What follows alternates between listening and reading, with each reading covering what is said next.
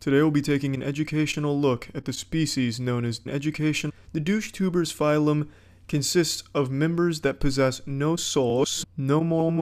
Douche tubers are composed of mainly five characteristics. One, they are all children. Two, two, I want to fuck RiceGum. I really personally don't understand my micro penis, so fuck you. SpongeBob is fucking awful in my opinion. One, two, three, three, two, one.